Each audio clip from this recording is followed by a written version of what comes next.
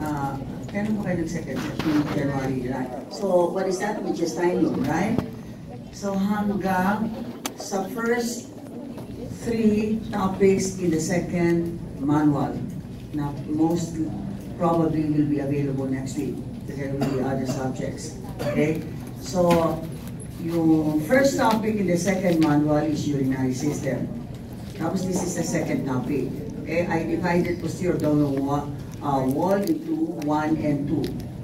So, on Tuesday, holiday na naman kayo. Na- Pero hindi kayo pwedeng mag sobrang happy-happy kasi mag-aaral kayo, right? Yes. And then Friday, you'll be having you'll be having uh, review and posterior abdominal 2. Okay? Doon sa theoretical, kasama yung 2. But the practicals is only up to this one. Kaya ganun, kasi wala kayong pasok sa Tuesday. Wala kayong time para mag-review, para, para mag-dissect ng 2. Okay? So, now this one here, so what you study here in the posterior abdominal wall?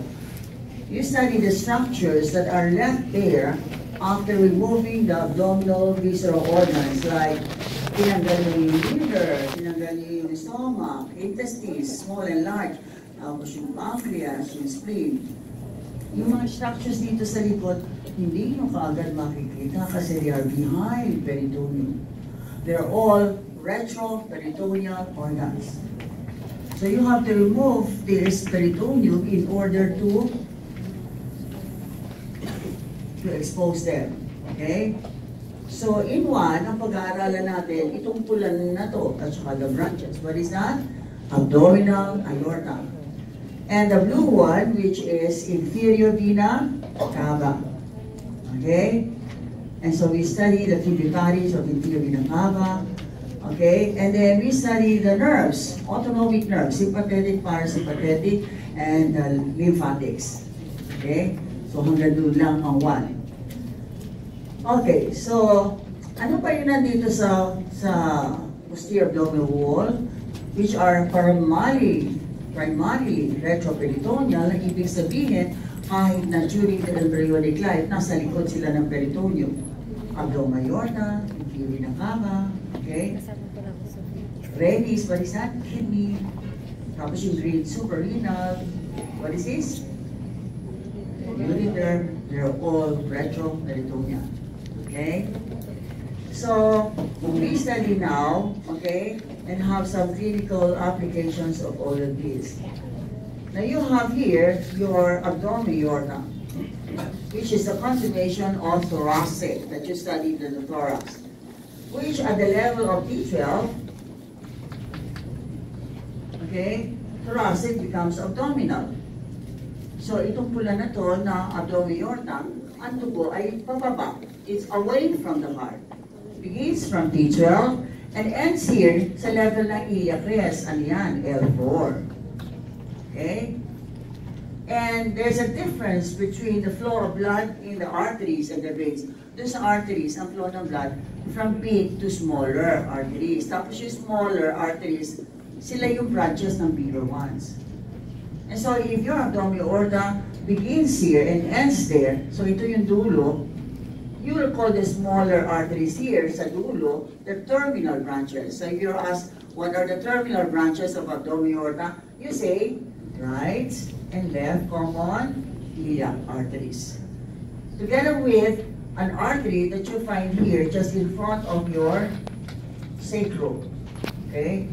And this is middle or median sacral artery. So yun, sila yung tatlong terminal branches. Okay? Kakaiba naman dito sa vein. The vein, the blood will be going back to the heart. Yung artery away from the heart. So if in the aorta, the blood is going down, dito naman, papaakyat. And so this one begins here at a little, at a level lower than your, than your aorta. And it begins here at the level of L5. How, how does it begin? Di ba dito sa aorta? ang, ang flow ng blood will be from big to small. And you call the smaller arteries the branches of the bigger one. Dito sa veins, baliktad. The flow of blood will be from smaller to big. And you call the smaller veins the tributaries of the big one, bigger veins. Okay? So here, you have the two common iliac veins. Nandito sa umpisa ng inferior vena cava. And these join together to form inferior vena cava. So ang, ta- ang tawag dito sa common iliac veins na nasa umpisa, sa, sa umpisa, sa beginning ng inferior, these are the tributaries of origin of the inferior vena cava. While common iliac are the terminal branches of abdominal aorta. Okay? Of course, you have also there your the middle sacral vein. Okay? Now, what happens now here is that comparing these two, doon sa cadaver nyo, oh, maitim ito. Mas malaki yung vein at saka mas manipis siya. Okay, and if there will be abnormal tumors there, the abdomen, mas malamang ma- ma-compress ang inferior vena cava kaysa abdominal aorta. Okay? So, what are the clinical conditions that can affect this? Your, your topic today is more or less a review of what you had in the abdominal cavity. The blood vessels there, the arteries, the veins, the lymphatic nerves. So you just have to review them, right? But we will, we will uh, re- review them together. So, here, ano ang pwedeng mangyari dito sa, sa aorta? So if you have a cross section of the aorta and you have here your tunica intima, the innermost, right? And then tunica media, and then tunica adventitia. Okay. So you have here your lumen. But sometimes you can have there some fat deposit. It becomes thickened. Okay? So lumiliit yung ano, yung daanan ng dugo. Okay? Pag lumiit yung daanan ng dugo, okay, there will be now, okay, comparatively, less blood flowing there. Okay? So, depende kung halimbawa sobrang, sobrang uh, laki yung uh, uh, uh, sobrang uh, ang thickening and narrowing. Okay? You call the condition atherosclerosis. So there's a narrowing of the arteries. So ano kaya makikita nyo sa pasyente if you if you have that? If you have atherosclerosis. So the blood here is going down, right? It's going down. Common iliac arteries now divides into internal, papunta internal carotid, and external. External carotid. Internal iliac and Gigising ko lang kasi. internal iliac.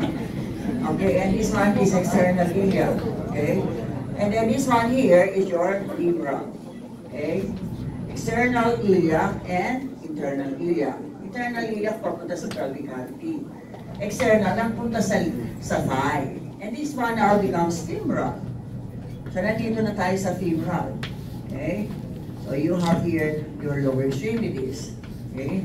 And then you have here your femur. So you have femoral here. Na pagdating dito sa butas na this is femora, this is a Dr. Ayatus, naging artery sa likod ng, ng knee. It becomes papricha. This is papricha here now. Okay? And then you have now here, this is the sole. Okay? And then underneath your calf muscles like a gastrocnemius and so on, you be having here paplicius. And then this one here, your paplicial artery at the lower part paplicius becomes posterior tibial, and this one here is anterior tibial. Posterior tibial ay nasa ilalim ng mga calf muscles like this one is gastrocnemius. Anterior tibial ay nasa ilalim ng anterior leg muscles. Okay.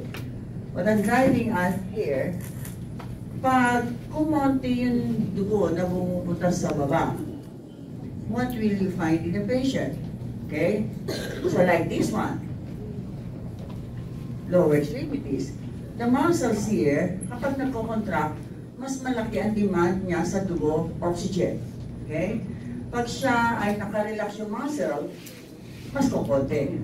So yung pasyente pupunta sa inyo, Doctor, why is it naglalakad lang ako ng isang bloke. Ang sakit-sakit na nitong ano ko, itong ah, ah, lower extremities ko. Te- Pero nung uh, namahinga naman ako, nawala siya. So what really happened then is, pag na naglakad kayo, okay, you have contraction of the muscles, you need more oxygen. Okay? Eh kaya lang, konti yung blood na dumadaan dyan. Yung red blood cells na nagdadala ng ano, di ba? Ng oxygen. So, kukonti. So, nag-spasm yung muscle kasi kukonti ang oxygen na nakukuha. Tapos nag-rest siya, konti na lang requirement. So, okay lang kahit na kukonti. Right? So, you call that one intermittent what? Claudication. Na kapag ginagamit niyo yung muscle, sumasakit siya. Nag-iismasa. Pero pag kayo ay namahinga, nawawala. So, pasulpot-sulpot, intermittent claudication. Right? So, if the atherosclerosis, the narrowing is here, the abdominal aorta, you know that the abdominal aorta becomes internal ilia, and this one will be going go, going there to your your genitalia, right? And so, what will happen is, okay, there will be now, and of course, if you have here your uh, your uh, abdominal aorta, this will be now on the way to supply the genitals, right? And so what will happen is, doon sa lalaki, for for erection, penile erection to occur, na, dapat mas maraming blood, okay? So, pag kukonti, ang pupunta na blood, what will happen is, what will happen is, you'll be having impotence. Okay? So, yun makikita nyo pag nandito. Okay? So, may taas, right? Of the abdominal aorta. But then, if you have it here, sa femoral artery, it will be just intermittent claudication. If this is just here, it's just uh, uh, intermittent claudication. Okay? Or it is also the same as when you have your, if you have here the heart, and this one is the left atrium, and this is left ventricle, and this is mitral. Tapos nagkaroon ng rheumatic heart disease yung pasyente. Tapos nasira yung mitral valve, this is mitral valve. Nagkaroon ng blood clot, ang tawag doon thrombus. Yun ang blood clot. Yung thrombus na yun, ma ma madidislodge. Pag na-dislodge siya, pupunta sa left ventricle. At pupunta yan sa saan? Sa aorta. And so, pwede siyang bumara, mag-obstruct, kahit na anong branch na aorta. And it could be here, right? And you'll be having the same what? You know, anywhere here. It could be, you, you can be having the same uh, signs and symptoms. Okay, like what's that? Intermittent claudication. Okay? Kasi pag naglalakad, sumasakit. Pag namahinga, nawawala. Okay? So that could be. And then there is a case here. At the back, I can see you. Are you, are you with us? The two of you? Hindi, kayong dalawa. Okay, are you with us? Okay? I can see. Okay? You have here a abdominal aorta, and there can be abnormal dilatation. And please take away those cell phones. Okay? Pag kinuha ko yan, hindi ko nasosoli sa inyo. I-donate ko sa simbahan yan. so here, you have here your abdominal aorta. You can have this one dilated. Okay? And this also affects some arteries like those in the in the brain, right? The cerebral arteries there. All this aneurysm. And this is abdominal aortic aneurysm. And this is more common among the male. Okay? Ah, elderly, tapos nag-smoke, tapos nag-alcohol, okay? Kasi may blood vessels na apektuhan.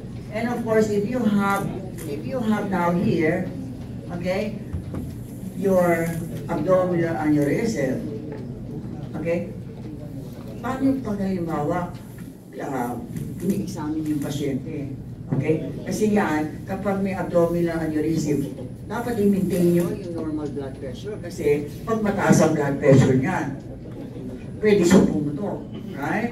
And you can have bleeding. And is the bleeding? Just underneath the peritoneum. That's retroperitoneal bleeding, right? So, kailangan i-maintain nyo. Okay. So, kailangan din pag, pag ini-examine nyo, abdomen ng pasyente, yan, i-check nyo lang kayo, right? At tapos pag meron kayo na feel, nagpupulsate. Artery lang, ang artery lang ang nagpupulsate, right? So, you have to think of, and is a mass that pulsates. Okay, it could be um, ab- abdominal aortic aneurysm. And if you have increased pressure, it can rupture. Okay? And if you have here the different layers there, this aneurysm can can have can you can cut it. Okay? So if you have the lumen where you have the blood, okay, there could be it could be dissected like that. There could be some tearing, okay? And the blood can can go inside there. You call this dissecting aortic aneurysm, and this can rupture as well. Okay? So, that's it. So, yung, if ever there will be an obstruction here, if ever there will be an obstruction due to a embolus, ibig sabihin, blood clot nang galing sa ibang parte. Most likely, nanggaling siya sa left side ng heart. Okay? Like my chop, that's the left ventricle, pupunta sa aorta. Okay? And if you have abdominal aneurysm, you can see that it can compress on its adjacent organ. Uh, blood vessel, what is that? Inferior vena cava. At ang inferior vena cava, ang tagadala ng dugo na galing sa baba. So, kung nakokompress yan, ano kaya ang mangyayari? Ano makikita nyo sa pasyente? Yung dugo sa baba, from the paa, paakyat, nahihirapang bumalik sa heart. So, ano makikita nyo sa pasyente? You have pedal edema, okay? Or, yung mga hemorrhoidal rectal veins, okay? The, the, your uh, uh, rectal veins, uh, the middle, and uh, your inferior will be on the way to go to, what is that? Inferior vena cava. So you can have hemorrhoid as well. Okay? So that will be now your abdominal aortic aneurysm. Okay? So, ang ginagawa niya, ito minsan, tinatanggal yan and then you have a graft. Okay? So you can have, you can replace that with a graft. Okay, so here now, we are now to have the branches of your abdominal aorta and review them. Now, if you talk about the branches of the aorta, of course, the first one that you saw there will be the terminal branches, right? And the terminal branches are what again? Right and common, right and left common, iliac arteries, and middle sacral arteries. The other name is median. Okay? But there will be other branches there. Kung magpupunta sa internal you call them visceral branches. Visceral means internal organ, right? Like kung punta sa liver, pupunta sa stomach, sa intestines, okay? These are sa kidney, sa suprarenal, these are visceral. Pero yung pupunta sa wall, you call them parietal. So ano ba wall dito? Parietal means wall. Like soma is wall. Pupunta sa diaphragm. Okay, that's that's a wall, right? And if ever, if you hear the word phrenic, you are referring to diaphragm. So, papunta sa ilalim ng phrenic, you have inferior phrenic. Okay? Inferior phrenic. Okay? And papunta dito sa likod, dun sa mga vertebrae. Kayo ba sa likod, nakikinig pa kayo talaga? O hindi? Na yung mga nasa likod, 1, 2, 3, sa likod. Kung hindi kayo nakikinig, just please leave the room, okay? Yung kayong tatlo, okay, girl, girl, boy, okay? Pag makinig kayo, okay? So you have here, okay, kasi nadidistract ako, makikita ko kayo, no? Tapos sila hindi nakatingin. So here you have, you have here your, I'm saying. What, what, what I'm saying. I ano? Ah, inferior phrenic, sinabi ko sa inyo. so, yung, yung pupunta sa wall, diaphragm, whenever you hear the word phrenic, okay, that's diaphragm. Sa ilalim ng diaphragm, if you're phrenic. Okay, so that's like that, right? So, like that. What's that? Inferior phrenic. Okay?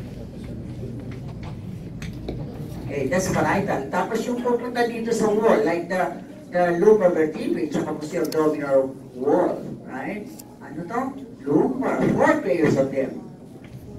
Okay, alam ba nyo, sa, sa model nyo, may ganyan?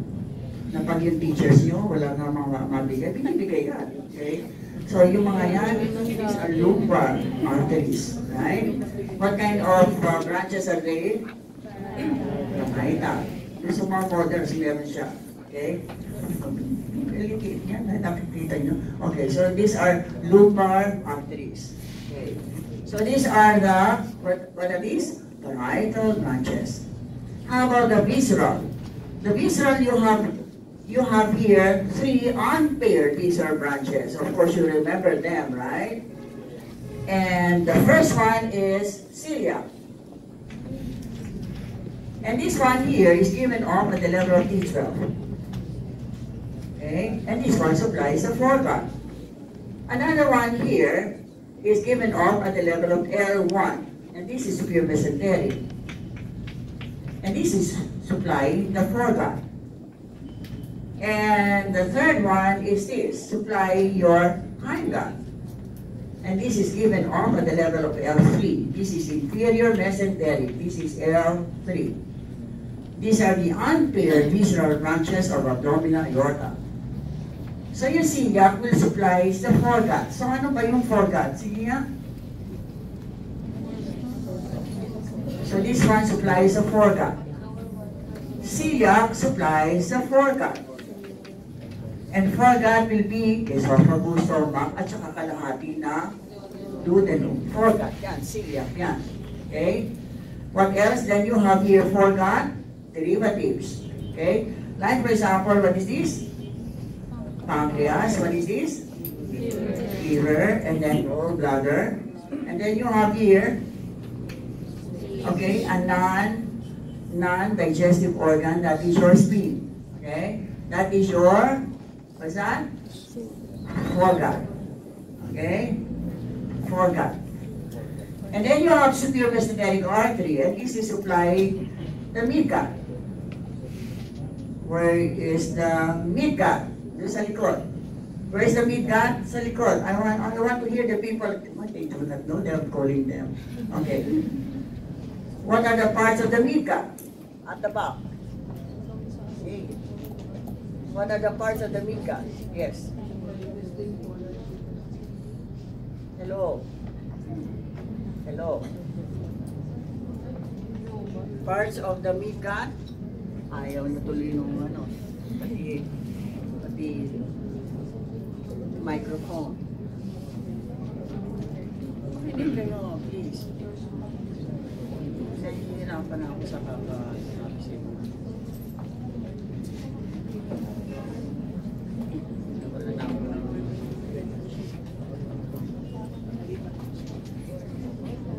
Oo, natanggal lang. Natanggal lang. Saan? Hello, hello. Wala nang ano, wala nang battery.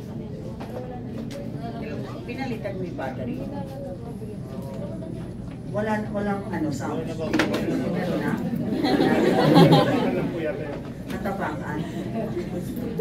Okay, so, na, meron na? Meron na po. Oh, doon ko okay. So here, the the midgut is from where? Sige na. At least nakatingin kayo ngayon sa akin. Lower half of the duodenum, tapos jejunum, ilium, okay? And then what else? Cecum with appendix, tapos what is this? ascending colon, at saka yung proximal two-thirds of transverse colon, that is mid-gut. Okay? That is supplied by mid-gut. And then you have here your hindgut. Mula saan? Distal one-third of your transverse colon, descending colon. Okay? And the descending colon, okay? Pagdating niya sa pelvic inlet, so you have here your pelvic bones, right? And this is pelvic inlet. So you have here your uh, your inlet. Yan. Okay? Tapos nandito yung descending colon, yan. Pagdating ng descending colon sa pelvic inlet, iba na pangalan niya, naging S-shape na siya. Ano ito? Sigmoid. Hanggang saan? S3. Pagdating dyan, naging straight. Rectum. And up to the pelvic floor. And then you have anal canal. So lahat na to, yung, yung blue, yellow dito, tsaka orange, this will be hindgut. Okay? This will be the, this will be the hindgut. Okay? And this will be supplied by what? Inferior mesenteric artery. Okay? Inferior mesenteric artery. Hindgut. Now, you should be also aware, if you have pain fibers coming from here, saan ba yung referred pain? Okay? The referred pain coming from the foregut, dito siya sa epigastric. Halimbawa, may gastritis kayo, right? Pancreatitis, dyan, dyan magkakaroon ng pain. O halimbawa naman, kasi appendix is part of the midgut, initial stages dito, pero umbilical. Pag naman your descending colon, pelvic colon, dito sa hypogastric. So these are the, the uh, referred areas. Okay, if you have pain from any part of the, of the gut. Okay? So it's important that you know the branches from each one. Okay? So you have to tell me now, ano-ano ang branches. And we are done with this, so dapat alam nyo. Okay? So let's start with the cilia. Okay? Nakalimutan na nyo? Parang kailan lang yun, di ba? So here, you have your soma. Ano yung tatanggalin natin dito momentum?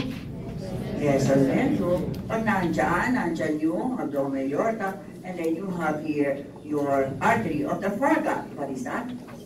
Cilia. Okay, tapos ito yung pancreas, ito yung spleen, right? This is the pancreas at the back of the stomach. So what are the direct branches coming from your cilia? Okay? Yung pupunta dito sa esophagus, sa lesser curvature, pangalan nito? Left gastric. Yung pupunta dito sa itaas, yung pinakamalaking branch niya, pupunta sa itaas ng pancreas. Okay, sa likod ng stomach. Papunta sa spleen. Ano kaya ito? Splenic. Yeah. Na kapag nagkaroon ng ulcer sa likod ng stomach, artery na may road. And then you have bleeding at the back of your stomach in the lesser stomach, right? And then you have a branch here going to the liver, common hepatic. Eh tapos dapat alam nyo kung anong branches niyan. Splenic here, okay, may branch na papunta dyan sa fundus. You call this short gastric. May branch na papunta dito sa greater curvature. You call this one left gastroepiploic. It's inside the greater mentum. And then, if you have first portion of the duodenum, and then ito duodenum na to, kalahati ay, ano nga? Ay foregut. Okay? And this one here will have a branch. Gastroduodenal. And gastroduodenal will have branches. Okay? Right? Gastroepiploic. And then superior pancreatico-duodenal. And then common hepat, uh, common hepatic will have a branch here going to your lesser curvature. And that's right gastric. Anastomosing with the left gastric there.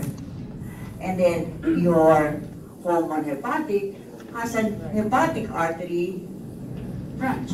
Hepatic artery proper and it has a right hepatic artery and left hepatic artery. Okay. The question is, you have too many anastomosing vessels here, right? And if you have anastomosing vessels, okay, and if you have obstruction in any one of these, you have atherosclerosis, will you have, ano ba yung necrosis? What do you mean by necrosis? Death, right? What do you mean by ischemia? Lack of blood supply. Avascular, walang blood supply. Okay? Now, when will you have ischem ischemic necrosis or vascular necrosis of the liver? Kapag ba merong, okay, if you have an obstruction here, in the uh, blue common hepatic artery, before your gastroduodenal, makakarating pa ba ang blood supply mula sa celiac kung may obstruction doon? Halimbawa, you have atherosclerosis doon? Yes, okay. Anong gagamitin nyo? Either, ano to? Left, gastric, nag-anastomosa, what is this? Right, gastric. So, makakarating kayo sa sa liver. So, walang, walang necrosis yan, right? How about if you have your common hepatic, you obstruct that beyond the gastroduodenal. Okay? Ah, ito muna una. It's not le- just left gastric and right gastric. Pwede din to. What is this? Splenic, and this is left gastroepiploic, right gastroepiploic. Okay? And then, kung dito yun ah, gastroduodenal and like that. Okay? And then, if it's number two, common hepatic, it will be just, what is this? Left gastric and right gastric. But then, if you have obstruction in the, uh, the in the hepatic artery proper, then it will be death of the liver tissue. Diba? Wala na siyang anastomosis. Okay? And I want you also to remember, class, that this celiac artery in the abdomen aorta is accompanied by not only lymph nodes, but this will be accompanied by postganglionic sympathetic ganglia. Okay? So may mga lymph nodes yan. Ang tawag doon, celiac lymph nodes na yung lymph na galing sa foregut, doon pupunta. So ano ang clinical significance niyan? Kapag may cancer, anywhere there, for example, anywhere in your foregut, ang unang-unang maapektuhan na lymph nodes ay celiac. So doon kayo makakita kung sakali na ng metastatic cancer cells, right? Okay. And that is also where you find your postganglionic sympathetic ganglia. What's that? Sympathetic. Ano ibig sabihin ng ganglion? Groupings of neurons. So may mga, kung nandyan ang celiac, nandyan ang celiac artery, celiac tract. Okay? Wala, parang wala naman. Meron ba? No, no. Ah, kaya pag nandyan ang celiac tract, may kasama siyang celiac lymph nodes at saka celiac sympathetic ganglia. And when you say sympathetic ganglia, it means groupings of neurons. Okay? Groupings of what? Neurons. Okay. Cedric, wala akong sounds. Okay. So, importante yung celiac lymph nodes at saka yung celiac ganglia. Okay? Because this will be, the ganglia will be sympathetic neurons. And the lymph nodes, diyan pupunta kung ano man, infection or cancer na galing dito sa foregut, diyan papunta. Siya yung unang pag spread na ng cancer. Okay? So that will be the celiac. How about your superior mesenteric artery? Supplying the midgut. Okay? Superior mesenteric artery. Nasaan yun? Where do you find the superior mesenteric artery class? Where? This one here is your duodenum. One, two, three, four. And you have the pancreas.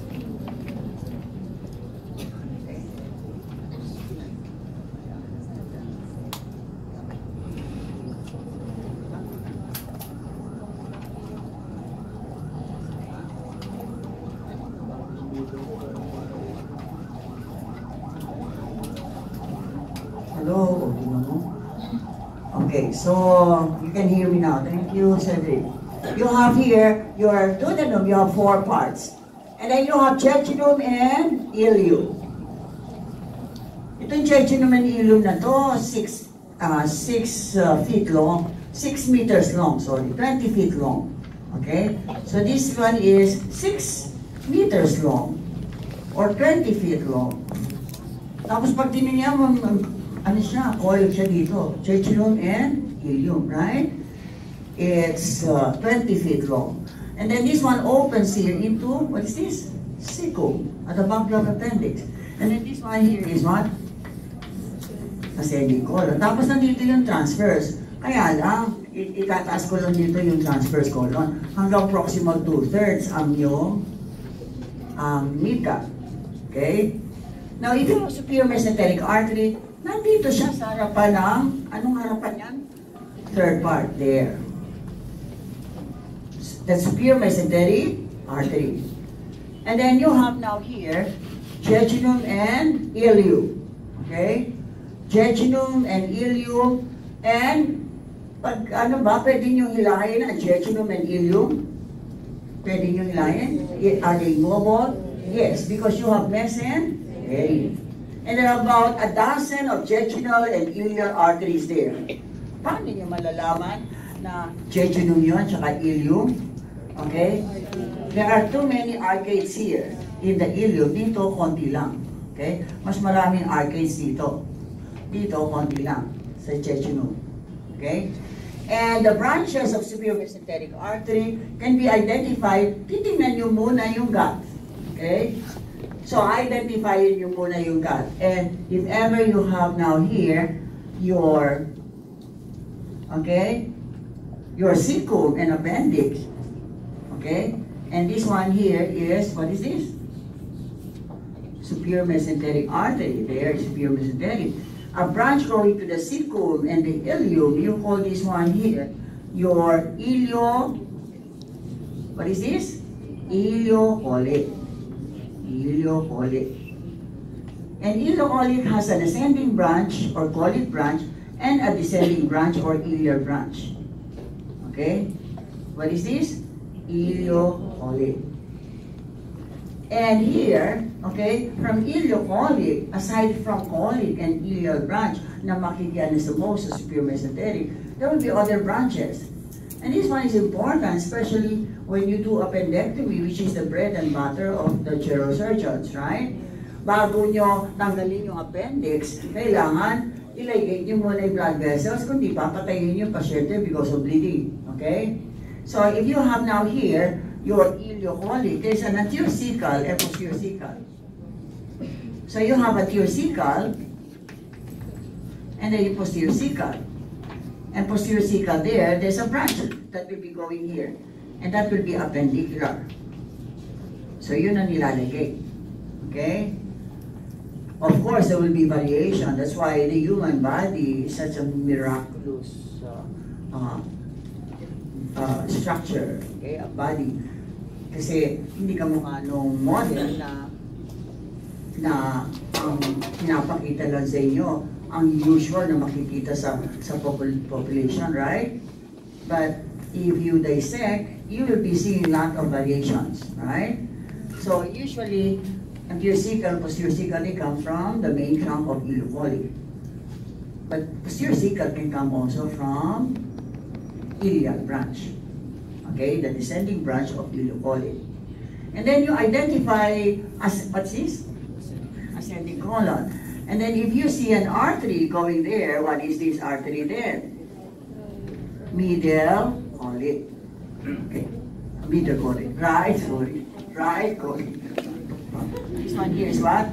Right colic.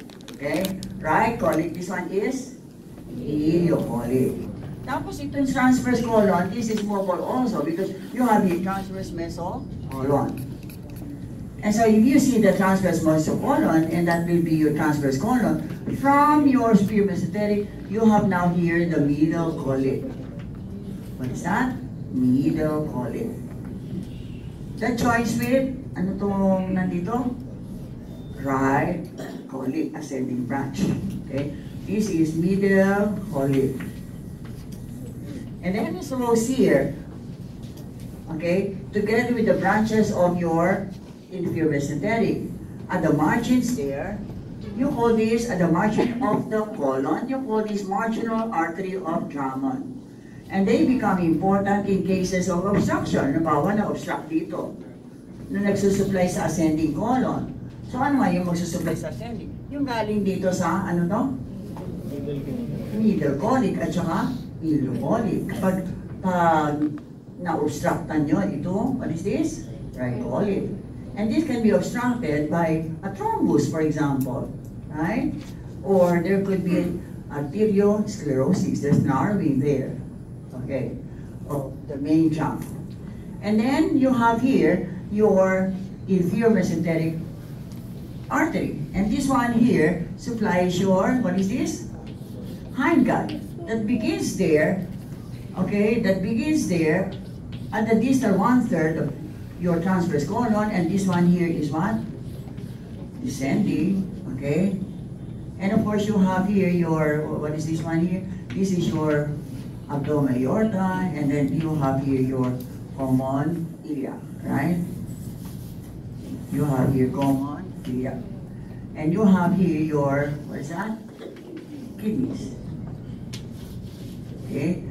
And then coming from your abdominal aorta, you have here, what's this? Inferior mesenteric artery that supplies your hindgut. So this is your descending colon. Tapos ito, ano to? Sigmoid at the level of S3, it becomes, what is this? Rectum. Okay. So if you have inferior mesenteric here at the level of L, at, at the level of L3, given off, tapos descending colon to, ito, left colic there. Ascending and descending. What's that? Left colic. And then if this one is sigmoid, the branches going there, two or three of them, will be now sigmoidal, like that. Sigmoidal arteries. Tapos yung inferior mesenteric artery naman, pag na, nandun na kayo sa pelvic inlet, okay, iba na yung pangalan niya. Kasi this will be now becoming your superior rectal. What's this? Superior rectal. Okay. Now what happens is, if you have here your left colic, left colic here, anastomosing with your middle colic, there. The junction is, is there near the splenic flexure. And the junction of these, okay, are really very small, anastomosis. So small, okay, that when you have low blood pressure, yung area na yan sa splenic flexure, ma makukulangan ng blood supply. There is ischemia. And that is prone to inflammation. You can have ischemic colitis. And that is found where? At the junction of this branch here of middle colic and this branch here of left colic. This part here of your transverse colon in the splenic flexure is the watershed. Dalawa ang blood supply niya, galing sa middle at saka left colic. Tapos yung dugtungan, napakaliit. Okay? And you can have ischemic one, like this. You call this point here the critical point of Griffiths. Griffiths point. Okay? Meron dito, sa baba. So if you have, for example, here, the sigmoid. Okay? And then you have here your rectum. At the junction of the sigmoid and the rectum, yun ang sinusuplayan nitong ano, ano, nitong union ng sigmoidal at saka ng superior rectal. At yung union nila, parang Griffith's point, maliit din yung duktungan nila. Kaya uh, yung junction ng sigmoid rectum prone to ischemic colitis as well. And you call that point Sudex point. Okay. So ano ba pwedeng mangyari sa superior mesenteric artery? This can be also affected by arter- arteriosclerosis. It can narrow, okay, because of cholesterol plaque. Okay? You can have narrowing. Or, yung nasa left side ng heart, Halimbawa, again, yung rheumatic heart disease, dito sa left atrium, saan pupunta? Ay dito sa mitral valve. Okay? Tapos meron kang meron kang thrombus doon, punta sa left ventricle. And from here, saan ang punta? Aorta. Okay? So, any branch of the aorta. And it could be superior mesenteric artery. So, pag meron dito thrombus at naapektuhan lahat yung, yung main trunk, you can affect all these segments there. And so you can have death of tissue, you can have gangrene. At pag namatay itong mga tissues na to, okay, paano na yung pagkain na nandun sa stomach at saka duodenum, saan nadadaan? There will be intestinal obstruction, right?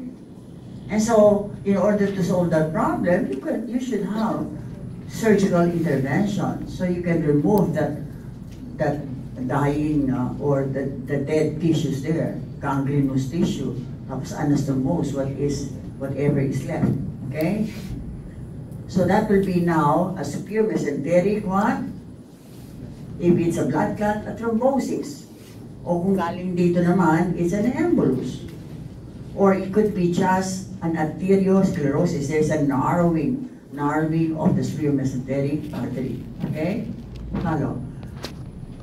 Okay, so that will be now your unpaired visceral branches. How about the paired visceral branches? What are the paired what are the paired visceral branches? What are the visceral branches there? Ano yung mga visceral branches dun sa yung nakikita nyo muna dyan? Suprarenal, right? Ang medical word for kidneys, ano? Renal. So, pag may, may organ sa itaas niyan, pangalan niyan. Suprarenal or it's adjacent. So, what is that? Adrenal. Okay. So, here, ang suprarenal gland, ang suprarenal gland ay isang gland na nagsisecrete ng hormones. Okay? both the adrenal cortex and adrenal medulla. But then this one is controlled by the brain, right? Like for example, adrenal cortex is controlled by anterior pituitary. Okay? And so, your anterior pituitary, the hormones controlling the adrenal cortex. For example, the adrenocorticotropic hormone. It's a stimulating hormone. Paano ngayon makakarating yung hormone galing sa pituitary papunta dyan?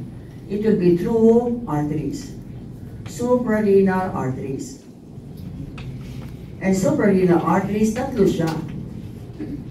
Superior, middle, and inferior. Okay? Right? Tapos gagawin na nung ano, nung suprarenal gland yung hormones niya. Lalabas na yon through veins. Okay? So you have three of these. Superior, middle, and inferior. The superior comes from a parietal branch of your abdomen. Ano nga ito? Anong branch to? Napunta sa ilalim ng diaphragm? Inferior phrenic. The superior suprarenal galing dyan. There. What is that? Superior suprarenal artery. Ang middle galing sa So, siyempre, dalawa, isa sa kaliwa, isa sa kanan. Paired to. Okay? Ito naman, ano to? Middle. What is this? Middle. So, dalawa din siya. Middle, supra, renal. Galing saan kaya? Abdominal, aorta. Okay? Ano man, ano man tawag dito sa mga arteries na to na papunta sa kidneys. Ano tawag doon sa malaking artery na yan? Ano tawag? Renal. Left renal at saka ano to? Right renal. Okay? So ito yung superior, ito yung middle suprarenal, ito ngayon yung inferior suprarenal na galing saan? Renal. Okay? Inferior suprarenal galing saan? Renal. Again, superior saan galing? Ang superior galing saan? Inferior phrenic. Saan galing? My class, this is just a review. So you should have the notes already. I, I, I cannot understand why you should be taking notes here because this is just a, a uh, review, right? This one here, what's that? Middle. And this is coming from nominal. And this is inferior. And that's coming from renal artery. Okay, so paired siya. So, alin kaya ang pinakamalakas ang pressure, pinakamalakas ang daloy ng dugo? Middle, kasi galing siya sa napakalaking abdominal aorta. Okay? Tapos, ang ginawa ni suprarenal, gumawa na siya sa sarili ng hormones.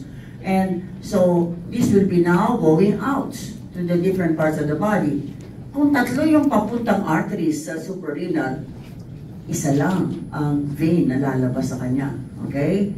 And the rule is, the vein will go to the nearest bigger vein. Okay? This one here is your right suprarenal vein. And this one here is your left suprarenal vein. Okay? So, saan nagpunta yung left suprarenal vein? Saan nagpunta? Saan, anong renal vein? Sa kaliwa, sa kanan? Left. And the right will go where? Inferior.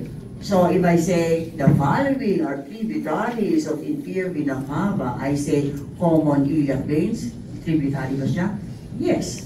Renal vein, left at saka right renal vein. Tributary ba yan? Yes. How about right and left suprarenal vein? Is that correct?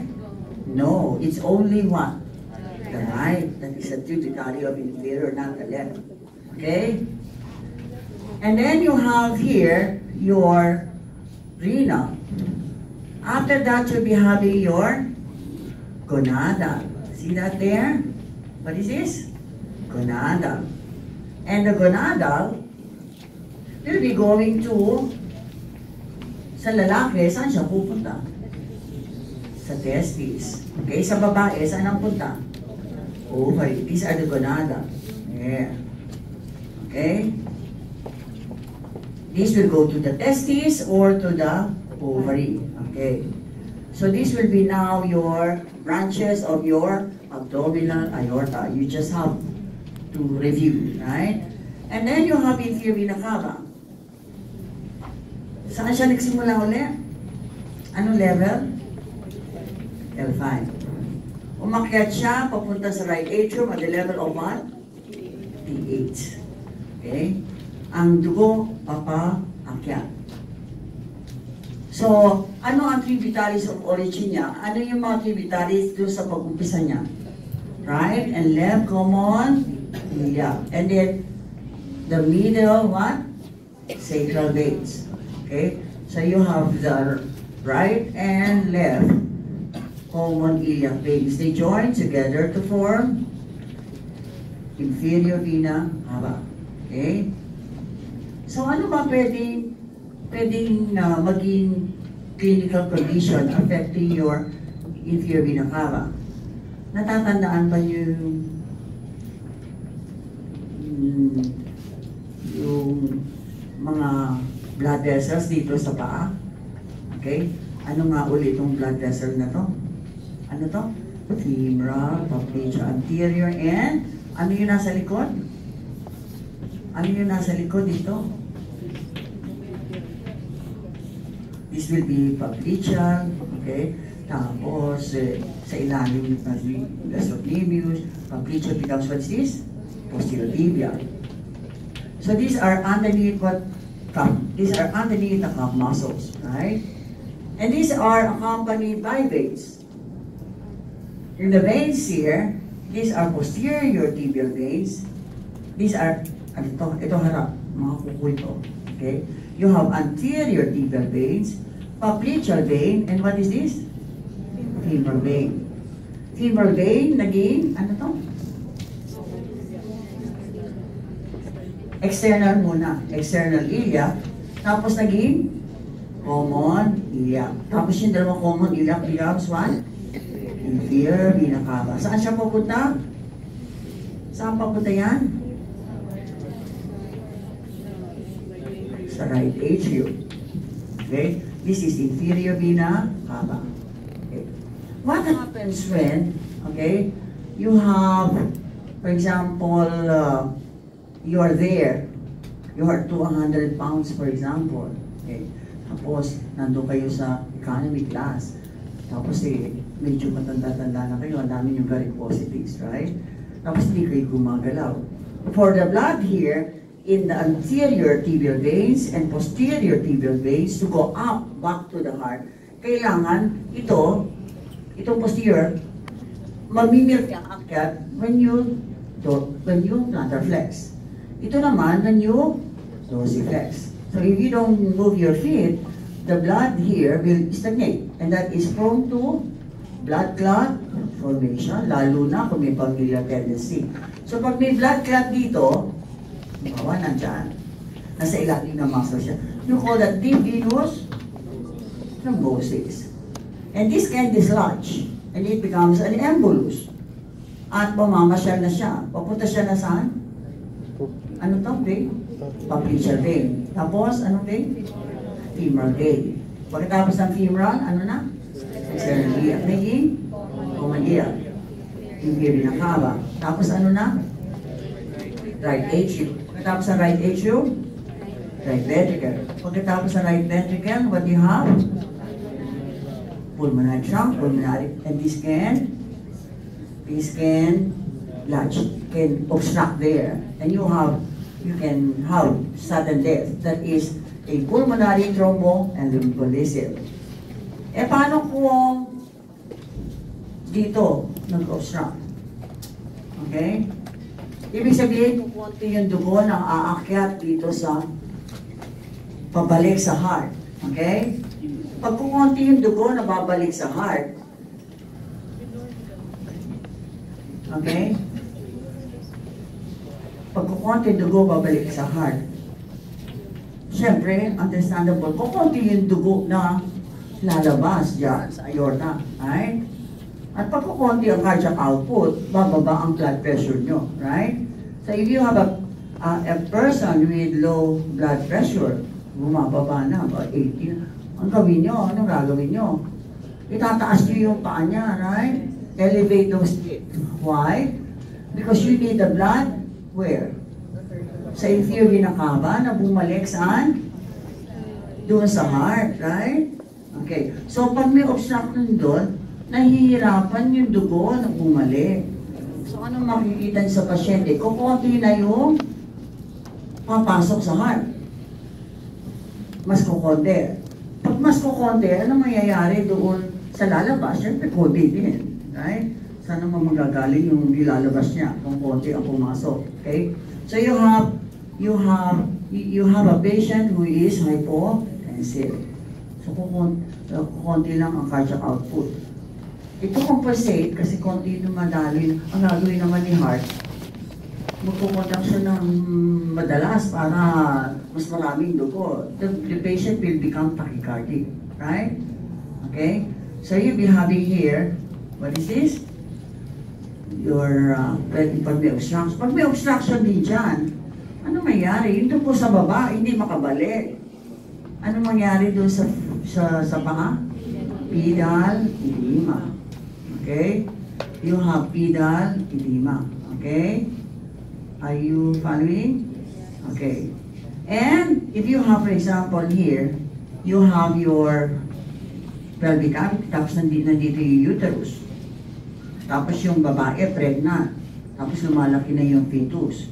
Pag lumaki yung fetus, pwede niyang daganan yan. Okay? Pag dinaganan niya yan, yung pregnant na babae, ano nakikita niyo sa kanya? And all of this can be temporary, okay? Dahil lang doon sa may dumadaga na fetus noon. Anong mangyari sa paa ulit? Pinalilima. Tapos yung mga rectal hemorrhoidal veins, saan din papunta. So ano mangyayari? Magkakaroon din siya ng hemorrhoid. Okay? Temporary hemorrhoid. Okay? Are you following? Okay. At tapos pag merong, pag may mga tumor, tumor, new growth dito, ang pwede talagang daganan una is what? Inferior because this is thin wall compared with your abdominal aorta. Okay? So what are the other uh, tributaries here? You have visceral tributaries. And here, at the end, you have here visceral tributaries. And this is coming from the, from the liver. So what do you call them? Veins. Okay? So, you have now here the liver. Okay? And then you have here your pancreas, okay? And then you have jejunum and ileum. Now, if you have your liver, yung dugo na papunta sa kanya, yun yung blood supply. Yung dugo na papalabas sa kanya, yun ang venous drainage. And usually, in most organs in the body, ang blood supply artery, kung kayo magsusupply sa kidney, renal artery, yung galing na dugo sa kidney, yung magdidrain sa kidney, venous drainage ng renal vein. So usually, papunta sa organ, supply, artery. Yung papalabas sa organ, usually is a vein. But the liver is different. Blood supply is both an artery and a vein. Okay? So if you have here your celiac, celiac you have a branch. Hepatic artery. And hepatic artery carries what? Oxygen. So blood supply yan, right? Tapos, hindi lang yan ang nagsusupply